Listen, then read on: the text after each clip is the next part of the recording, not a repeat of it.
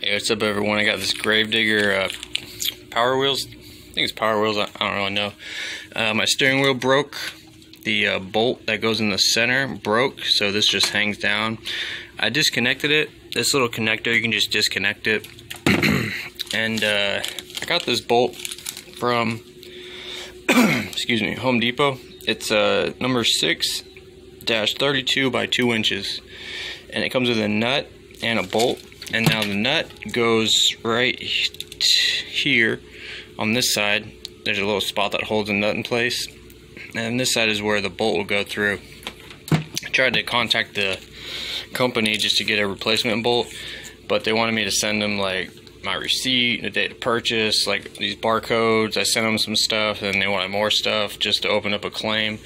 And I just all I wanted to know was the size of the bolt so I could replace it. So I got this one. I'll put this in and see how it goes.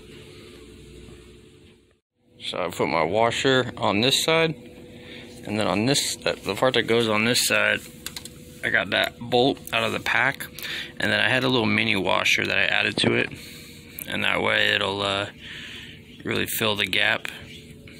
So basically, when it's on the shaft, you put it in here like that, and then I'll tighten it down, and then it should lock it in place.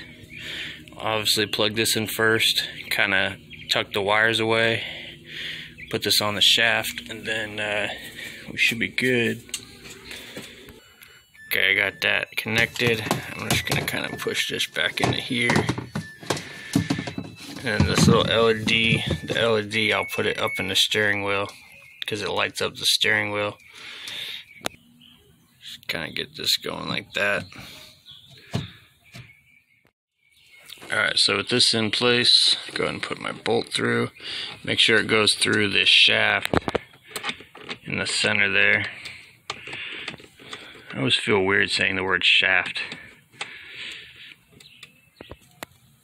Alright, so once it goes in, just tighten it in. And then on this side, on this side, it's just coming through. That nut will try to pop out. You gotta make sure it stays in place. And since this is a two inch bolt, that it'll poke out a little tiny bit, but I'm not worried about it. I think it'll be fine. Just like that. Get this tight.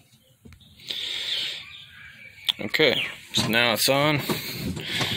Steering wheel is good. And um, it does stick out a little tiny bit, but this is a two inch bolt, and the, the one and a half inch bolt was too short. So, I mean, I don't think your little hands will hit that at all, so I think it's good. But, uh, yeah, that's just a little quick uh, tip on getting this steering wheel fixed up if you just need like a little weekend quick repair. Alright, thanks for watching.